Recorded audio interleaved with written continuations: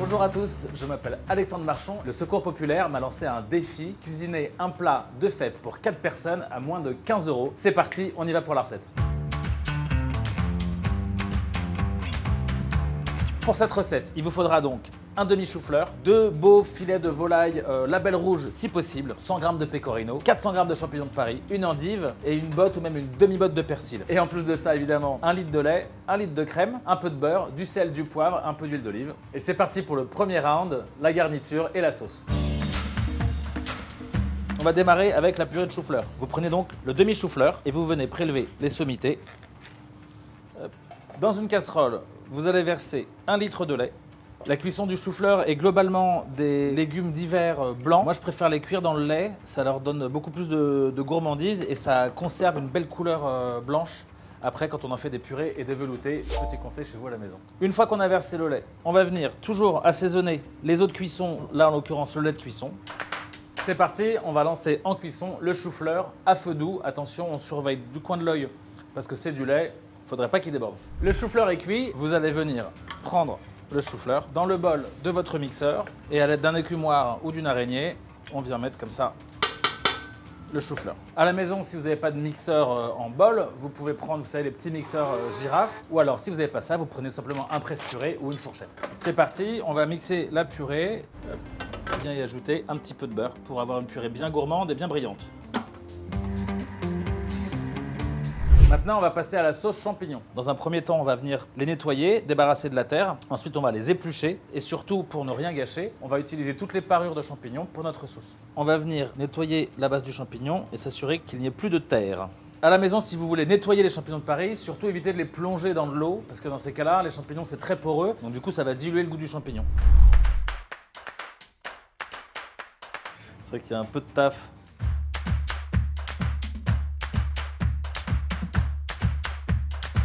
Maintenant, on va venir les éplucher. Pour cela, on va d'abord séparer le tronc, la base du chapeau. Et ensuite, on va venir éplucher le chapeau, soit avec la pointe d'un couteau, comme ceci, soit avec la main. On vient prendre à l'intérieur du chapeau et on retire la peau qui se trouve au-dessus. Et voilà. On va mettre la tête d'un beau champignon qu'on va venir couper grossièrement, ainsi que toutes les chutes. Dans une casserole bien chaude avec une huile bien chaude, on va venir mettre toutes les parures une fois que c'est fait, on va venir mouiller à l'eau. Une fois que votre sauce champignon a réduit de 3 quarts, on va venir la crémer.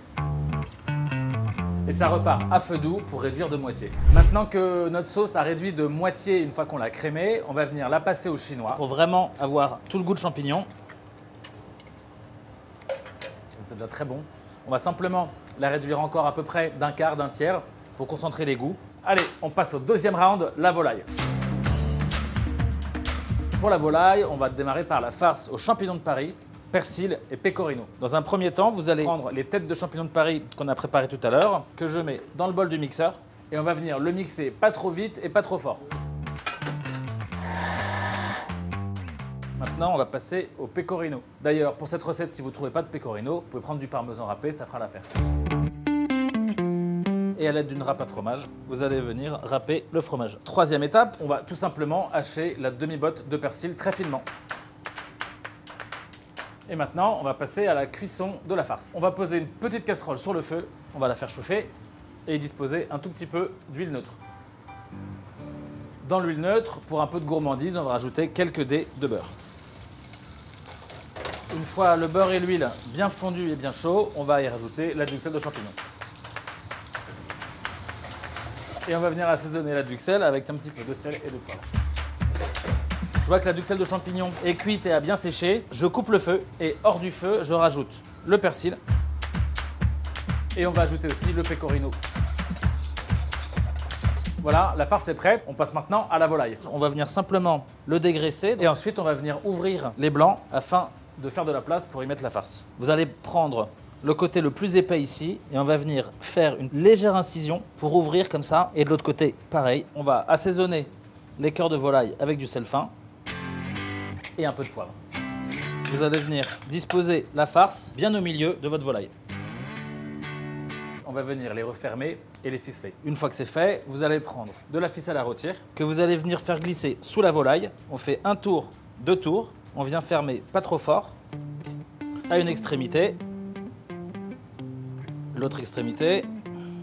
Le fait de ficeler la volaille comme ça, ça va nous permettre d'avoir une cuisson bien uniforme. C'est parti, on passe à la cuisson de la volaille. Donc on fait bien chauffer la poêle. Pendant que la poêle et l'huile chauffent, on va venir assaisonner à l'extérieur également les filets de volaille avec un petit peu de sel. La poêle et l'huile commencent à bien chauffer. On va venir les disposer délicatement. Une fois qu'ils sont marqués sur le dessous, on va venir les tourner d'un quart pour les marquer sur le côté. Et on répète l'opération sur l'autre côté et sur le ventre. On va terminer la pré-cuisson de la volaille en y ajoutant un peu de beurre pour faire un beurre moussant. Avec le beurre, vous allez venir arroser les filets de volaille farcis pour les rendre bien gourmands, bien généreux et pas trop secs.